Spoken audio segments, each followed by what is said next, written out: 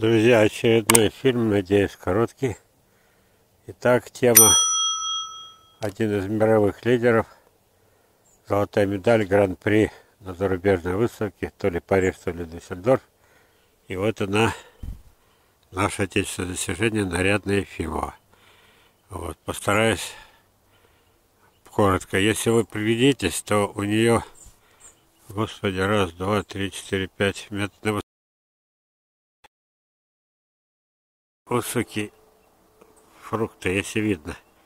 Вот это еще поджужский орех навис. Вот.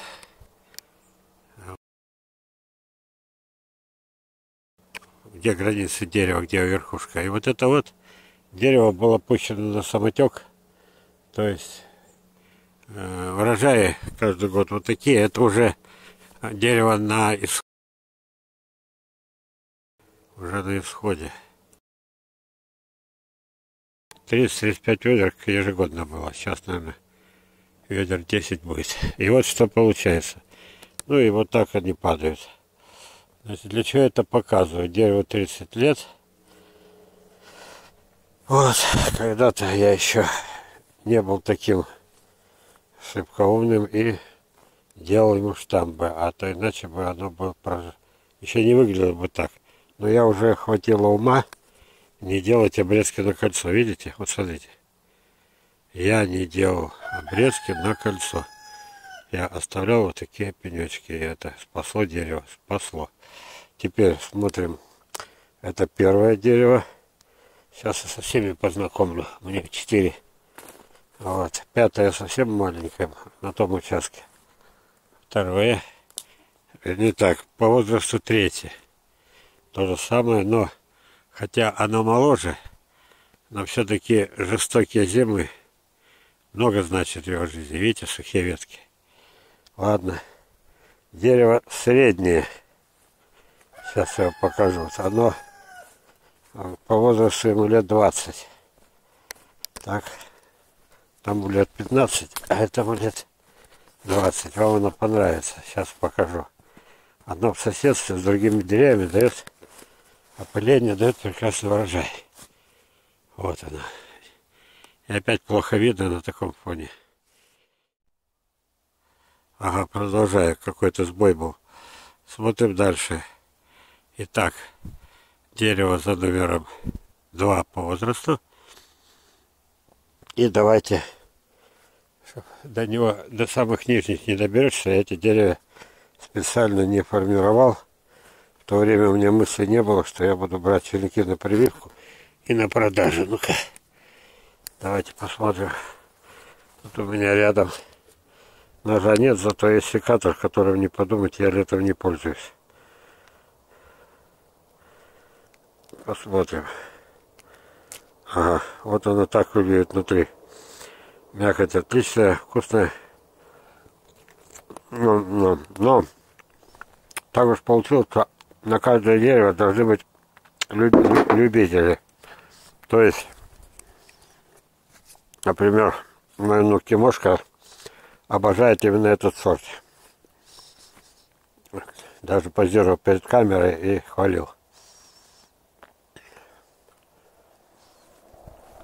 Теперь так. Это вот три дерева. И четвертое у меня вот здесь оно уже маточное. Сейчас быстро-быстро к нему идем.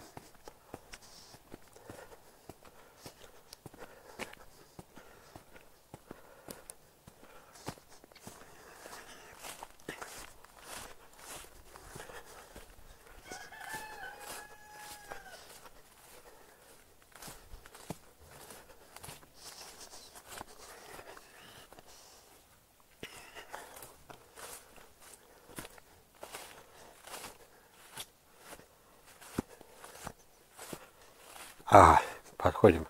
Кстати, я собираюсь закончить съемки. Буду калечить дальше шелковицу по той причине, что мне нужны листья для чая. Снижать сахар. Ладно. Кстати, кое-кто, кто летом выписал у меня в июле эти самые веточки. Получил ускоренную почту за 3-4 дня, укоренил, все прекрасно. У них уже свои саженцы есть. А я иду четвертому дереву нарядной фиму. На большее количество нету площадей. Вот смотрите, что такое маточное дерево. Несколько лет я уничтожал верхушки. Смотрите, что получилось. Впечатляет? Вот. Ну, допустим, здесь 10, 20, 30, 40. Если со всех сторон, наверное, около 100.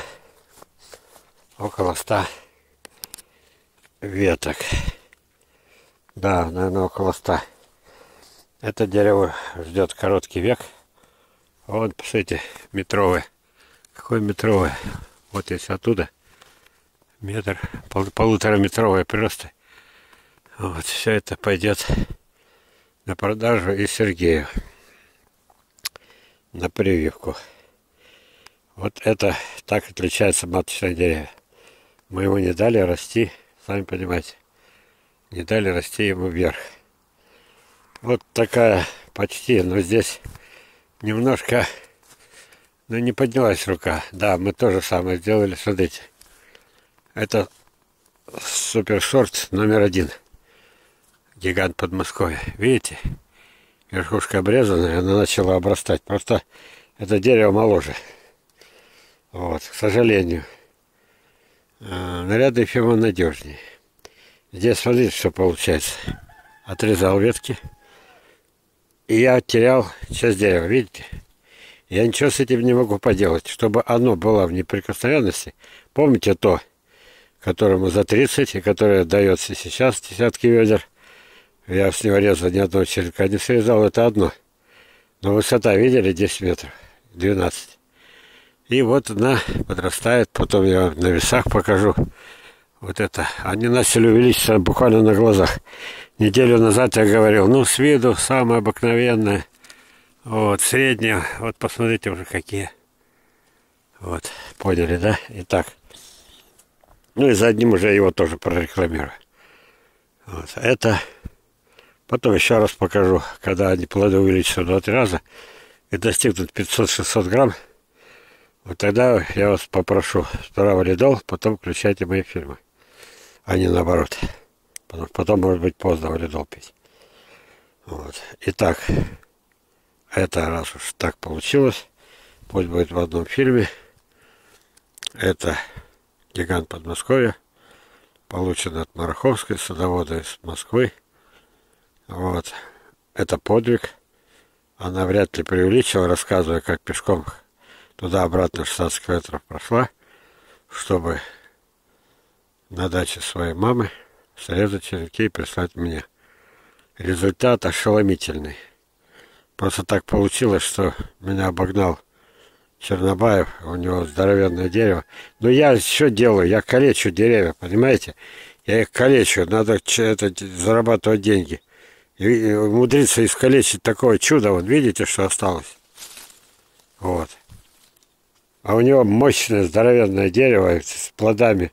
Там, наверное, ведер 20-30 и плоды, как два кулака соедините. Вот так вот. Вольно-невольно. И это прорекламировал. А сейчас у меня будет головная боль. Если я дальше буду резать черенки, оно погибнет даже не через 10-15 лет, как чаще случается, а гораздо раньше. Видели? Вот так. Страшная эта вещь. Быть маточным деревом с короткой жизнью. Я их называю жертвенные. Вот так, друзья. Ну что, нарядный фирма познакомил. Вот. Гигант Подмосковья. Вы чувствуете, что это будут заплаты через месяц? Познакомил. Благодарю за внимание.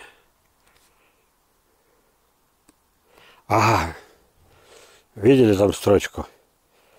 Вот эти бесплатные вебинары и якобы бесплатные фильмы. Это наш с братом, вот, и Сафроновым Антоном. Тяжелейший труд. Он не виден бабе. Вы все время как бы в сказочном саду. На душе праздник. Чудеса за чудесами. Здесь Чудеса здесь леший бродит. Здесь на самых верхушках вот таких вот у меня десятки деревьев, десятки ведер фруктов. И сейчас висят.